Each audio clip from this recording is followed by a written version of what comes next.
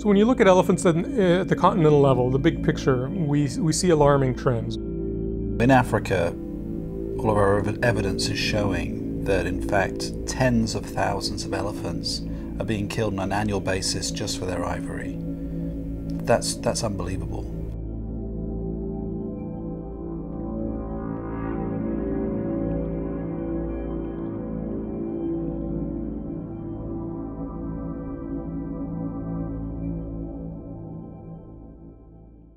There's a situation uh, in Cameroon that developed earlier this year uh, in Bouba N'Djida National Park that had about four to 500 elephants in it, and the Janjaweed militia uh, came in, about 150 of them, and proceeded to wipe out about 300 elephants at least. Know, just this week in Kenya, they reported a, a seizure of two tons of elephant ivory. Now, that would equate to something like maybe 250 elephants that were killed for their ivory for that one shipment.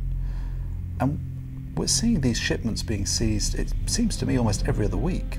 In 2011, more large shipments of ivory left Africa than we've ever seen in history. Huge shipments, several tons each, showing up in the ports of Southeast Asia. Um, I, the scale, the size of those shipments indicates that this is a highly organized illegal trade. It's the same people doing this sort of crime as a, as a smuggling human smuggling, drug smuggling, guns. We have to look at it for what it is. It's, it's organized crime on a very massive scale, killing very large numbers of animals and a number of forest rangers who are killed also. So it's another part of the crime problem.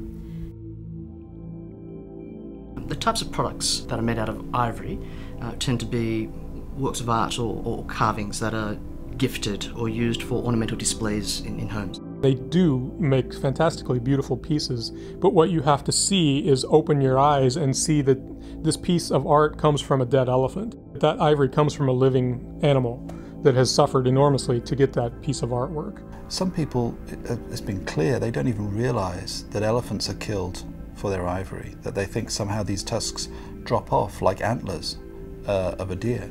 There is no way to obtain the ivory without killing the elephant.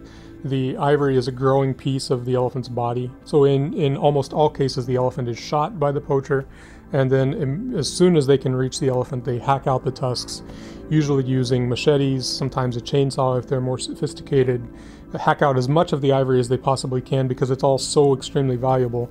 In a few cases, the elephant is, doesn't die immediately but is badly injured, and then the elephant is just left to die from its wounds. These are beautiful animals, wildlife created by nature. They've been there for hundreds and hundreds of thousands of years, and now they're being slaughtered for money, for ornaments. I would say that is a moral outrage if ever there were one. So one of the key things that people can do if they want to protect elephants is don't contribute to the problem. If you're ever presented with a, with an object that you think may be made of ivory, by all means don't buy that object. Be aware of the products that are available in the marketplace that are illegal, even in this country, but also when you travel abroad to parts of Asia where you see illegal ivory, for example, on sale. Be sure that you are aware that you don't buy these products and make sure your friends are aware. We know people coming together can make a difference. You know, people talking to each other, people standing out shouting about something that's important can make a difference. So it can help us by joining our campaign. You can help us push through a number of initiatives that's going to make a difference for those animals on the ground. Come to our website, be, be, informed about the issues, take action where we ask you to take action. We're trying to get leaders to elevate this issue politically, to be able to mobilize the resources, the attention we need on this.